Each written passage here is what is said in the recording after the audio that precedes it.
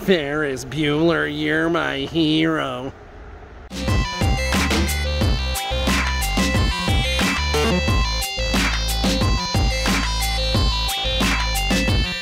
Hey guys! Happy Thanksgiving Eve. Because that's a thing, right? Because we didn't do Taco Tuesday. And there's not a Taco Tuesday Eve, but hey. Getting ready to go into the weekend. And as I've said before, be thankful, be happy, be healthy. Now, I want to talk to you something that I have some not so Thanksgiving traditions. I don't eat turkey. I know!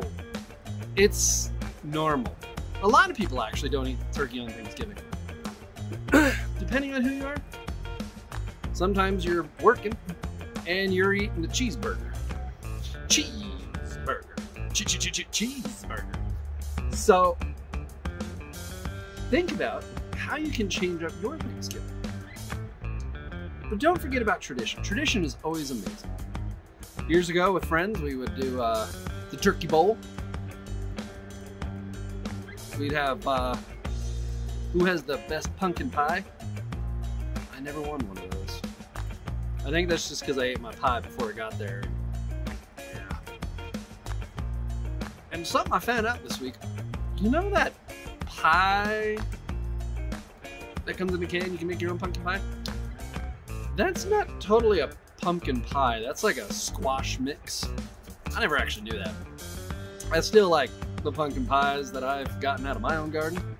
They were bigger pumpkins, but I did pick the smaller pumpkin to make pie with. So when I was asked the question, huh, what should go? Well, I said pumpkin pie, because I actually like the green beans. I like my cranberry sauce. I do not like turkey gravy. I do like country style gravy, so I can put out on my mashed taters. So, going into this uh, weekend, be safe. Don't go Black Friday shopping. Cause check out all them deals online. I know I'm taking, I've already taken advantage, taking advantage of the online Black Friday deals. And it's not even Cyber Monday yet. Cyber Monday! And something else to ponder. Do you think TVs will ever go wireless?